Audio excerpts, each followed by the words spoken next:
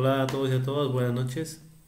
Eh, el día de hoy vamos a hacer un experimento sencillo de electrónica para iniciar la parte de robótica. Muchas veces la gente piensa que es muy difícil, pero es algo muy sencillo. Explicar a los chicos, los chicos son demasiado rápidos e inteligentes en la actualidad y no tenemos que estar dándole vuelta al asunto. ¿Cuáles son nuestros materiales? Lo vamos a tocar en una, en slide. Tenemos una batería, ¿sí? tenemos un protoboard tenemos dos cables ¿sí?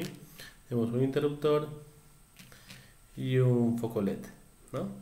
entonces la práctica inicial para poder eh, iniciar a nuestros estudiantes con algo electrónica es encender un simple LED con la ayuda de la batería ¿no? y los cables entonces para esto vamos a ver cómo funciona el protoboard y cómo están los puntos interconectados en el protoboard sería nuestro primer paso ¿sí? Ahora este, voy a bajar un poco la cámara para poder ver el protoboard de cerca. Listo. Como ustedes lo pueden apreciar, aquí existen unos, unos, puntitos. Estos puntitos están conectados de esta manera, de manera vertical. Es decir, estos cinco puntitos están conectados entre sí, pero no están conectados con los cinco siguientes. Al igual, estos cinco puntitos de aquí no están conectados con la siguiente fila de acá, pero estos cinco sí están conectados entre sí. Bajo ese principio tendríamos de que todas estas, estas columnas están conectadas entre sí. ¿sí? Entonces, lo que vamos a hacer con los chicos es justamente colocar en, unas, en las primeras líneas de nuestro circuito los cables. ¿sí? Un cable, conectamos el otro cable acá, ¿sí? ¿Por qué los pongo en, columnas diferentes? Porque estos van a hacer que cierren un circuito, ¿sí? Que cierren el circuito. Más adelante pasaremos un video con una analogía con, muy similar a una llave de agua, en la cual la llave de agua es el switch, la llave, el canal por donde va el agua es la tubería y el agua en sí sería la electricidad.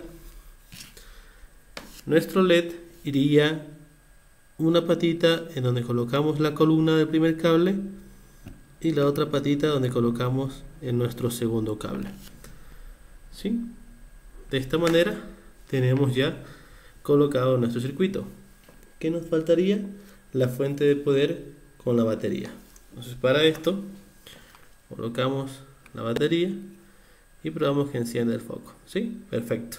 Está cerrado el circuito. Lo hemos hecho de manera excelente es nuestra primera práctica. Ahora bien, ¿cómo podríamos complicar o cómo podríamos agregar otro elemento más? Se puede sacar este cable que está acá, sacar el cable acá y colocar un switch ¿sí? con dos cables más. Se colocan los cables en la parte de abajo del switch. ¿sí? Esto está en positivo negativo el switch está en, en off, está apagado, ¿sí? y se coloca una de las patitas donde estaba el cable anterior. La otra patita se va a colocar a la batería. ¿sí? Entonces coloquemos el switch en esta posición para poder observar el encendido y el apagado. Colocamos la batería acá. Colocamos las, las patitas. ¿sí? A veces este, estas patitas no hacen contacto, pero a veces están un, poco flojas. ¿sí? Como esta ocasión está, no enciende el LED, pero si levantamos el switch, ¿sí? porque está un poco flojo, ya el LED enciende. ¿sí? Quiere decir que el circuito está igual de manera correcta. Ahora tenemos otro elemento más agregado a nuestra práctica.